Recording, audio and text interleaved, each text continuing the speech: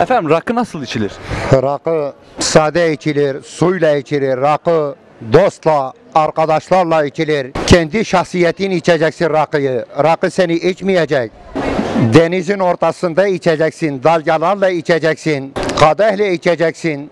Ağzın rakı kokacak, sevgilin ağzı rakı kokacak. Bardağı kaldırıp tokuştururken o ortamı neşelendireceksin. Aşkla içeceksin rakıyı.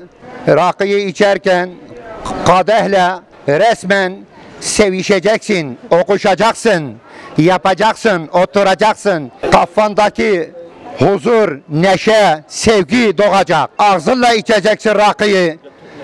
Götünle içmeyeceksin rakıyı. Delikanlı oturacaksın, delikanlı kalkacaksın. Budur, budur işte rakının içmesini budur işte.